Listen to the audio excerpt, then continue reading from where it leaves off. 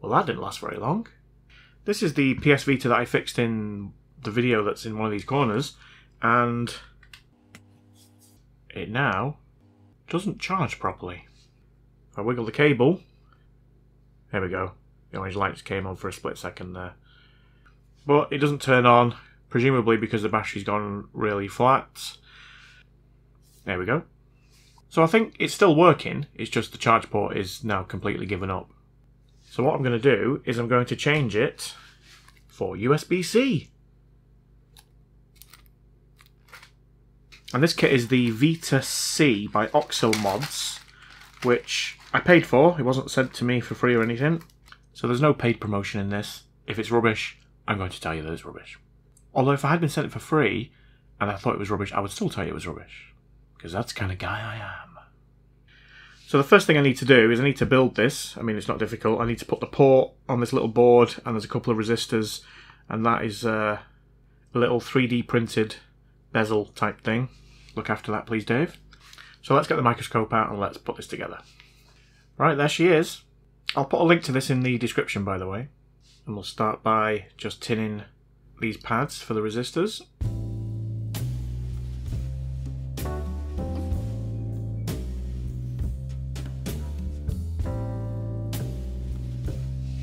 Can buy this board already populated, by the way. Get off.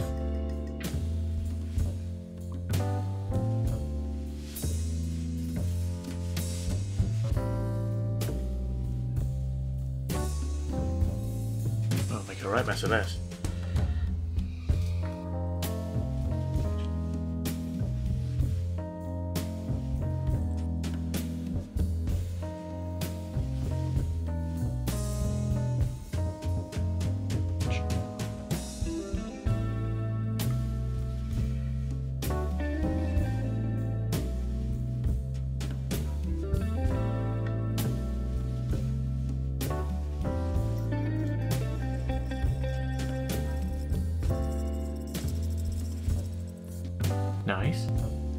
We just need to flip it over and solder the port on. I'm just going to tack down a couple of these legs and then I'm going to come in and do the, the ground legs on the back.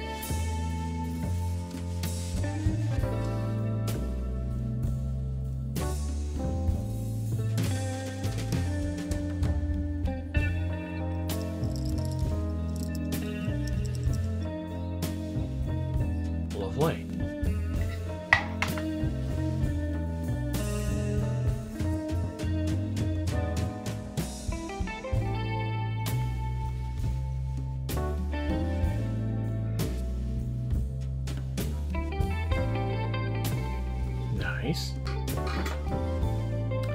Solid. Solid. Solid. Solid.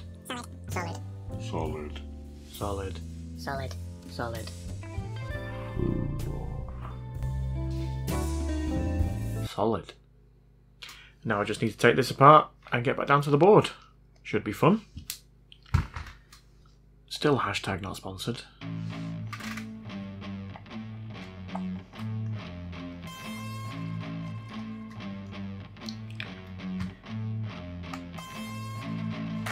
Alright, I guess it's voiceover Steve time. Yay! I wanna shout it out. BOS is in the house here to makes a start. He's been here for years. I need to thank Ellis, cause he DJing is gay and he never backs down. Man, he's always got my back. Jam Rag is here, my homie from Berlin. I was meeting too. He's bringing it fresh. One junkie up in here. I got more to go, so I'm gonna go down swinging. Don't you forget. Markovitz with the 19. Weston himself in between. Adam Taylor, the audio is routine. I'm gonna break without warning. Here's the rest of it. Daft Willie Ben slightly two Johnson's in the place. Mr. Wiggs, Mr. Harden, and Fleming Pipe check. There's the HHG, so it's the A1 bass and the Alex Reed mechanics. Aaron Mark, Flux and Crinkle it too. I'm gonna rock this place till they take the last breath. Then wake up oh. in here. I got more to go, so I'm gonna go down swinging. Don't you forget the legend and Molten yeah. Monkey Joe Tokyo there.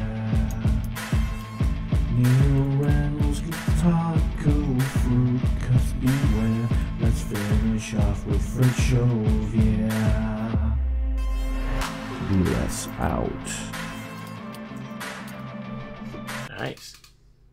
Thanks for that voiceover, Steve. That was beautiful. Right, let's get this back under the microscope and let's have a look at this port, see if we can figure out how to get it off. Right, shall I try and get this off with low melt solder? Is that a good idea? Or shall I just use the hot air? I'm going to try low melt. If it doesn't work, then I use hot air. I'm not bothered about ruining the port. I just want to get it off. I bought this low melt from eBay. It might not actually be low melt. It didn't come in like a, a tub or anything. Don't know how good it is.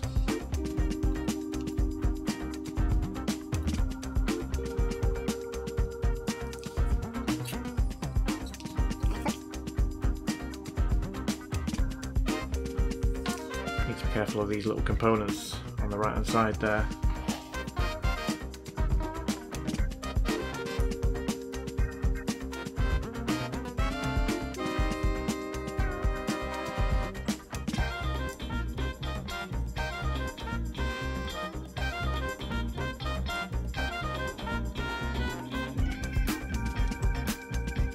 Yeah, this isn't proper. Look look how quickly it solidifies. I've got no chance with this, have I?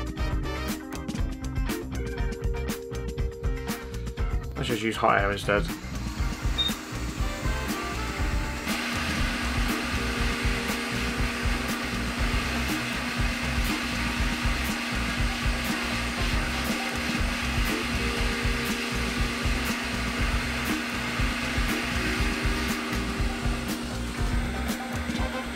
Only melted it a bit.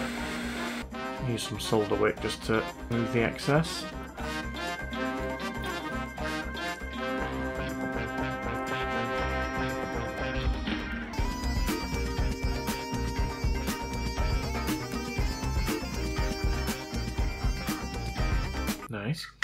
So it looks like you line up like this. I think it has got lines on the other side so you can check alignment, but I'm just going to tack one of these on and then I can flip it over. Let's add some flux. it moved.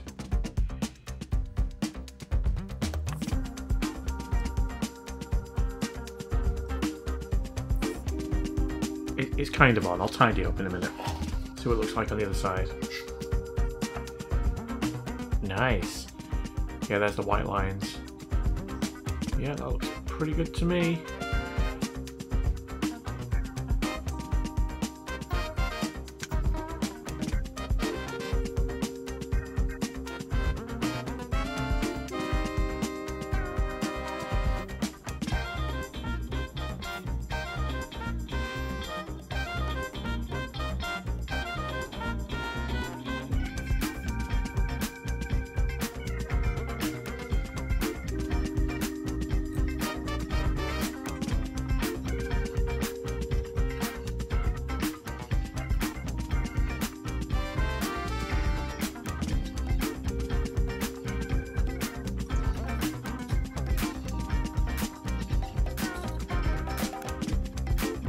Nice. Right, so we've got 5 volt and a D plus. Right, we've got this diagram. 5 volts goes to that fuse, which I think is the one I replaced. And then we've got D plus and also D minus going to that, looks like a filter. So yeah, we've got 5 volts here, but we've also got it here. And it needs to go to there. trying to think which is going to be the neatest way of doing it. I guess it's going to be easy from there, just run a little jumper wire like that. I'm going to use some slightly thicker wire for this one because it is the voltage.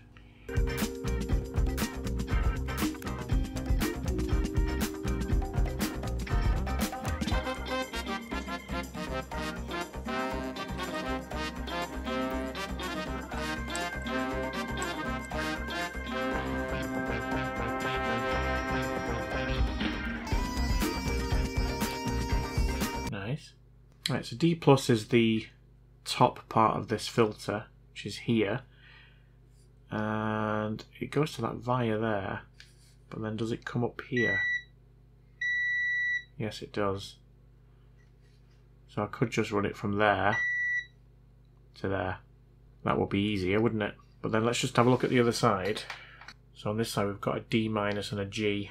Just looking through the instructions, it doesn't look like you need to solder on the G, but I do need to do the D minus. While I've got the board this way around, I'm going to put the, I'm going to tin this up and put the jumper wire on it. I'm going to use 0.1 millimeter enameled wire for this one, just in case it needs to touch anything else. There she is. Right. right. This one needs to go to here or here. I think I'm going to do it to here because then I can run the D plus from there to there without risk of the wires getting in the way of each other.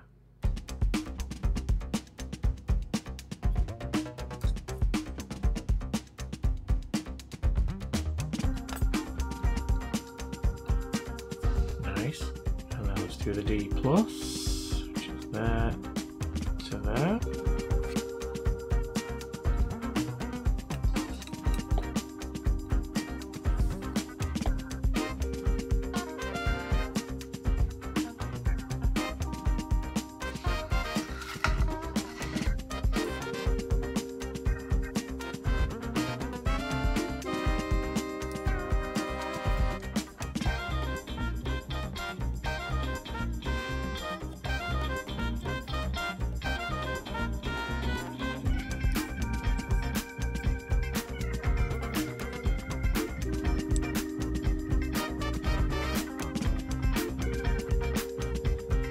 Nice. I'm just going to check continuity before I put solder mask on this to secure everything down.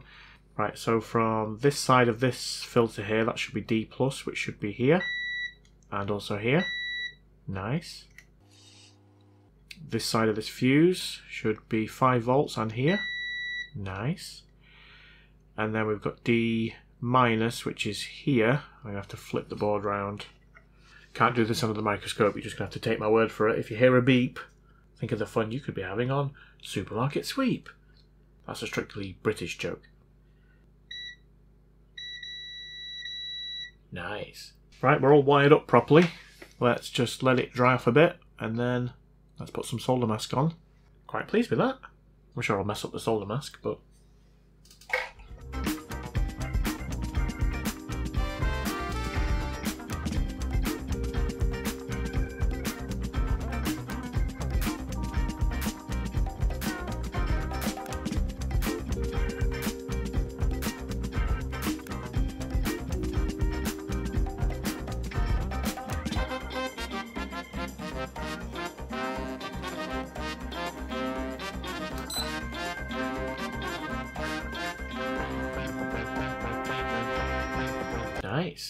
Right, the only other thing I need to do is cut the case. So I need to trim these four points here, which are...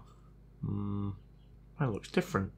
So on the diagram we've got four points to remove next to this, whatever that is.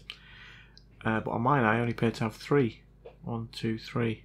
Actually, yeah, I can see where it will. Yeah, I can see where it sits slightly proud on the board here. So I'm just going to remove a tiny bit from from this area here. There we go. Not sure whether that comes across very well on the camera.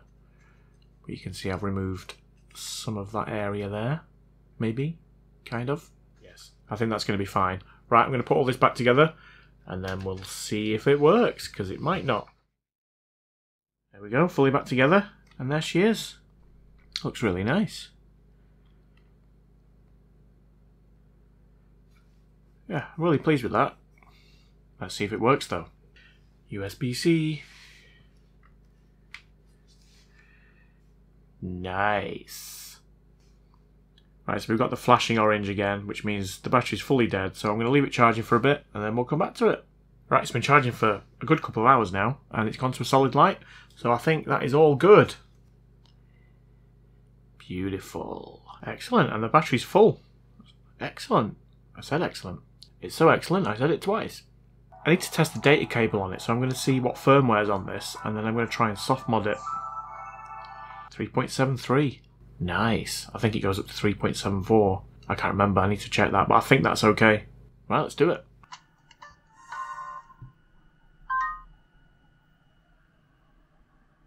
Nice. Yes. Right, all done. I've put some games on. And obviously, what better way to demonstrate the Vita's capabilities than by playing Duck Hunt?